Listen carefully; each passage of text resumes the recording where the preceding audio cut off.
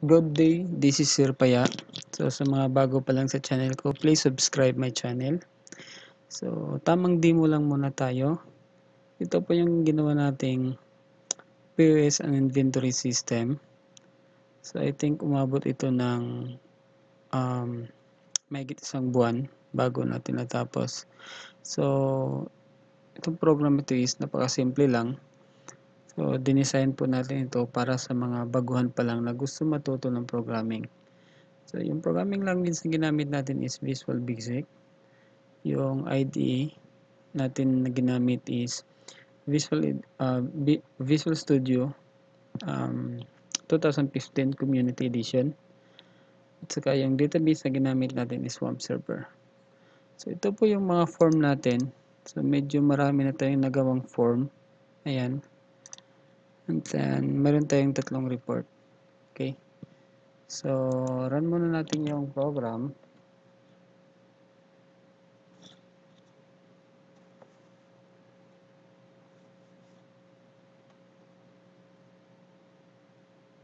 Yan. So, sa program na ito is, meron tayong dalawang ori ng user.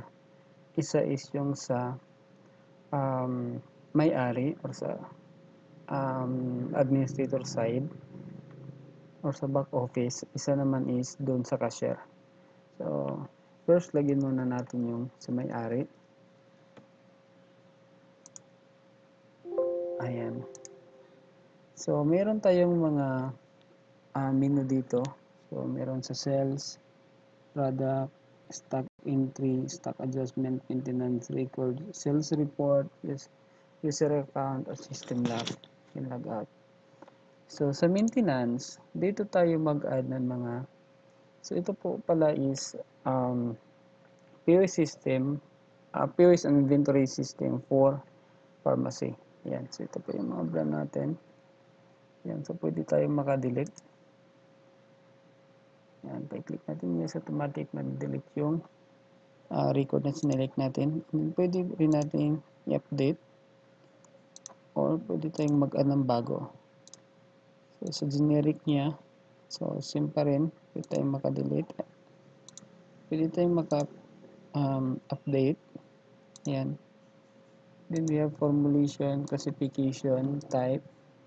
In the path entry, meron tayong maintenance. So, for example, uh, 12% yung bat na uh, binigay natin. Meron tayong discount. So, may mga ori ng discount. May senior citizen may 50% sale, may 10% sale, may 20% um, discount. Ayan. So, pwede natin siya apply mamaya dun sa sales. And then, meron tayong um, system title. Ito po yung system title natin. So, once na save tayo, ano, uh, hindi natin lagyan dyan. So, say for example, dito mag-update tayo. Ayan, so siya yung lumalabas dun sa title natin. Ayan.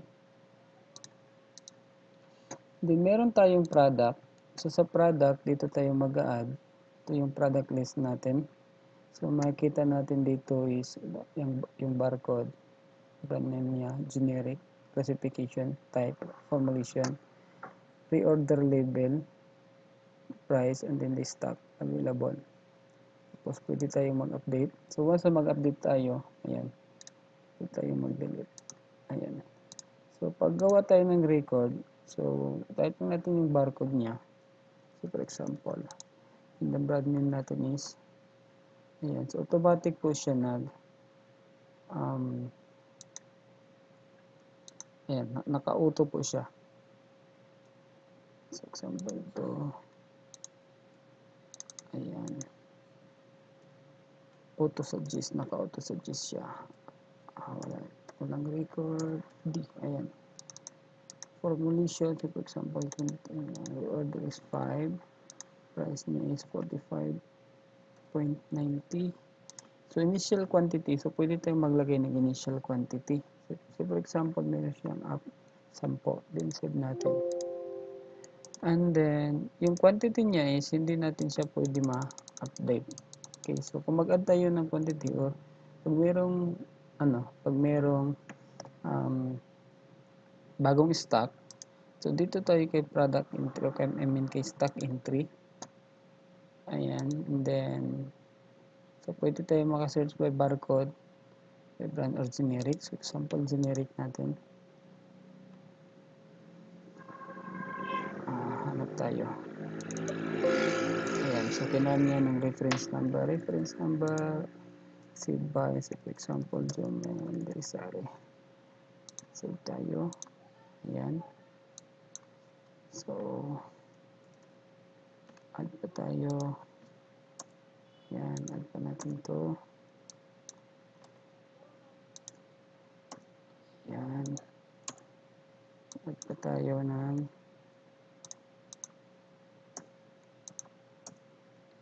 Ayan. So, add pa tayo. Okay, so dito sa quantity, pwede tayong maglagay dito. So, for example, mayroong dumating na 30 pieces.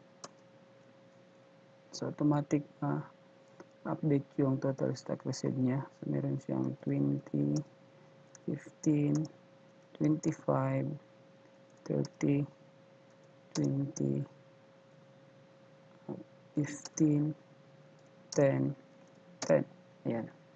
So, save natin siya. So, ayan. Successfully save. So, dito sa stock and history, so makikita natin dito yung um, tignan na natin to. Ayan siya. Tapos, go natin. So, ito po yung na-receive natin ngayon. Then, pwede po natin siyang ma-print. Then, preview natin. So,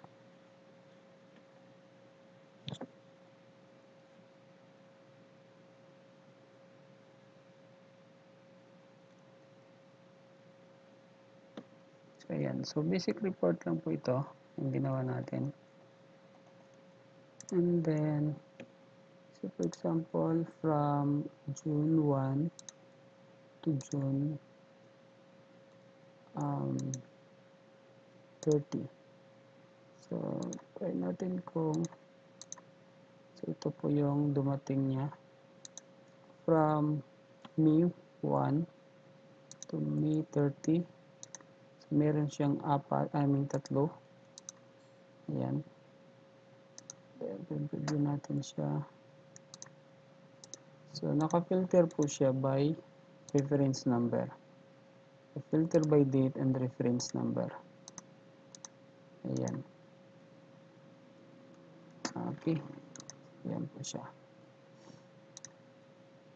Tapos, meron tayong stock adjustment. So, sa stock adjustment natin, if ever na may mga item nag-expire, for example, dito sa generic, example ito. So, makita natin yung stock niya is 20. Just ito siya. So, for example, lagyan natin ng 21. Tapos, remove. Reason, expire.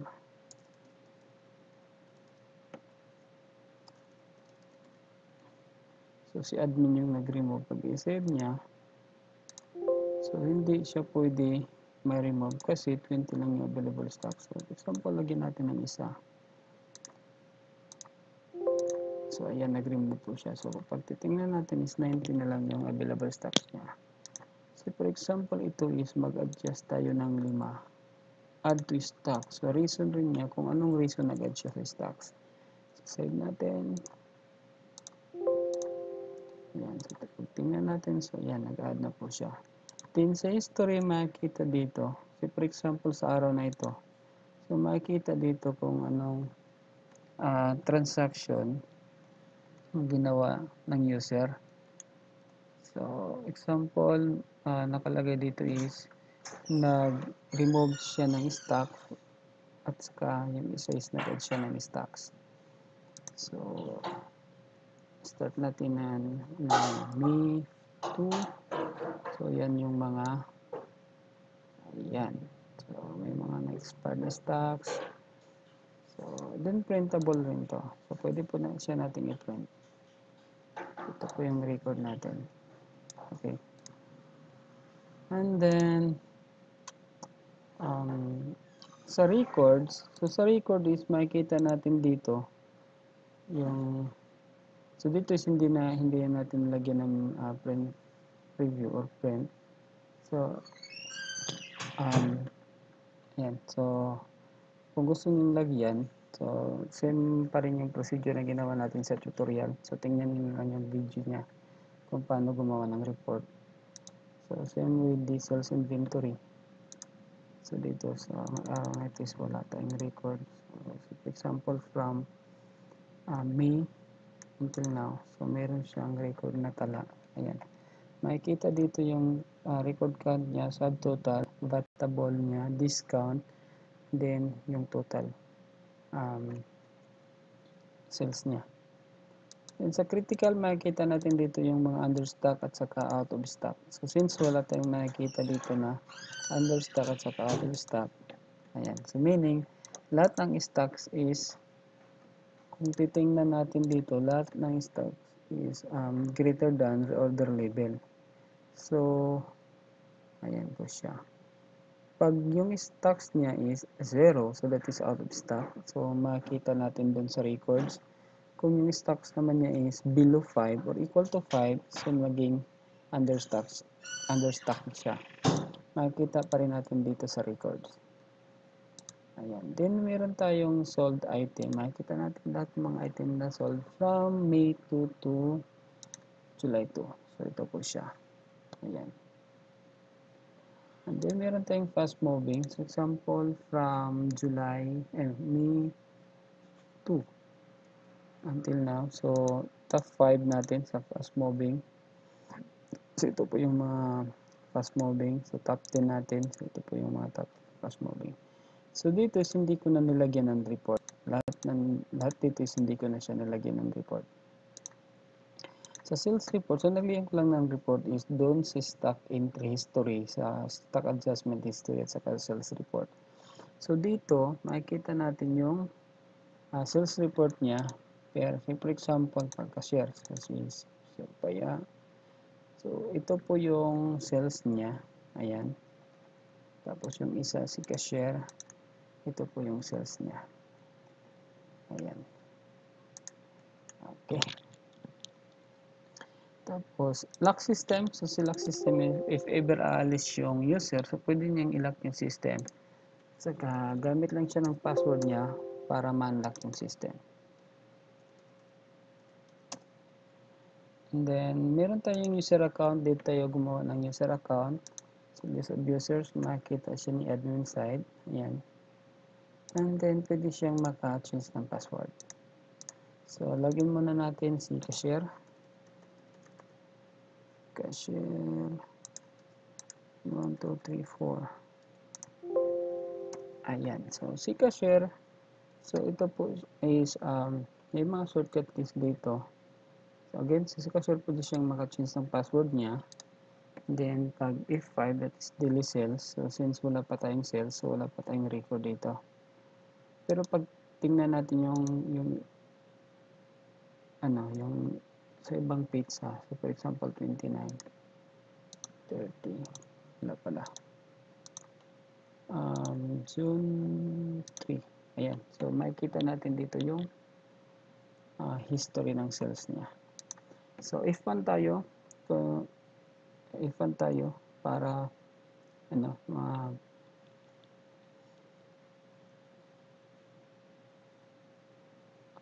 F1. Ayan. So, ito po yung invoice number natin. So, 2019 0 blah, So, ito po siya.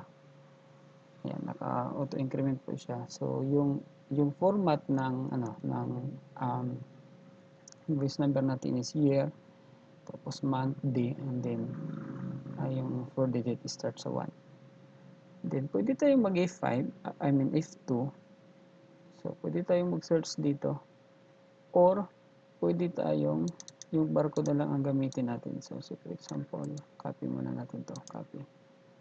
And so again, pwede tayong barcode.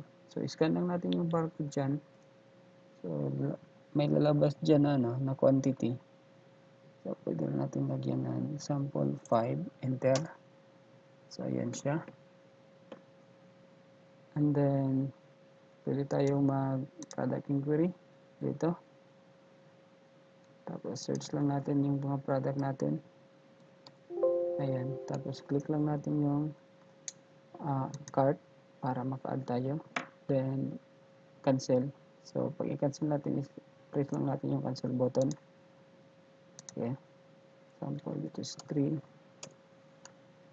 Tapos, add tayo dito ng dalawa. Add tayo ng dalawa. Add tayo ng pito. Ayan.